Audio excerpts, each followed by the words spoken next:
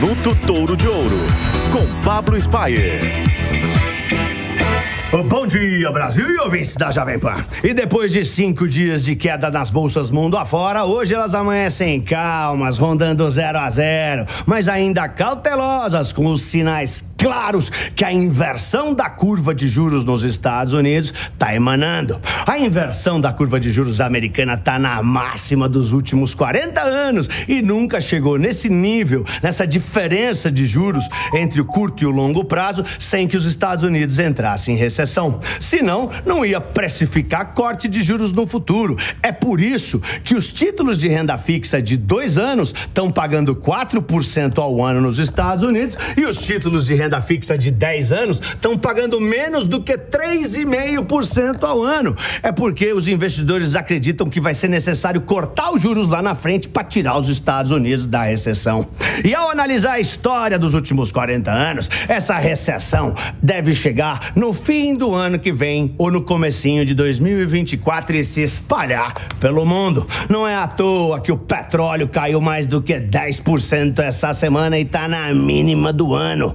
O mundo vai desacelerar. Bom, hoje, pelo menos, o petróleo está dando um respiro depois de cair tanto. Está subindo só um pouquinho, meio por cento. Está aos 77 dólares e 50 centavos. E o ADR da Petrobras, que está operando lá em Nova York agora, pelo menos está subindo 0,6%. Bom, de qualquer maneira, nem a, a, a força da China dizendo que vai reabrir a economia ajudou o petróleo essa semana que desmoronou. Lá na China, os estímulos ao setor imobiliário tem ajudado sim o minério de ferro, que saltou mais 1,40% essa madrugada a Aliança subiu e está fazendo o ADR da Vale, que desmoronou ontem, que caiu bastante ontem, está subindo 1% agora lá em Nova York, já está operando.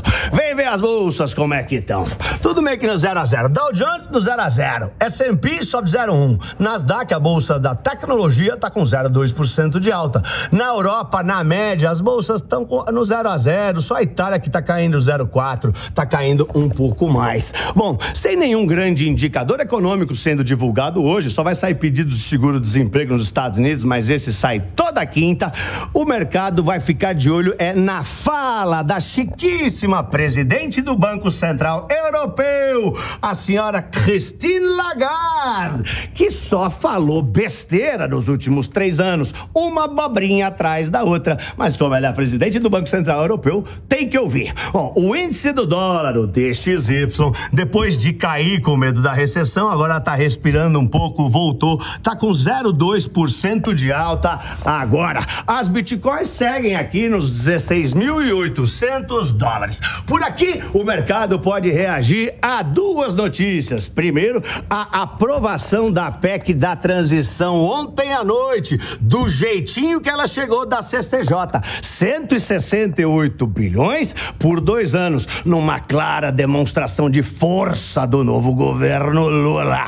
Semana que vem deve ser votada na Câmara, onde pode ter um pouco mais de dificuldade, vamos ver. A outra notícia que o mercado pode reagir é o alerta que o Banco Central do Brasil acendeu ontem para o novo governo. Ele disse que agora enfrenta a, a, a situação fiscal, o risco fiscal muito elevado. A incerteza fiscal traz preocupações para o Banco Central do Brasil. Em outras palavras, meus amigos, esquece corte de juros no curto prazo.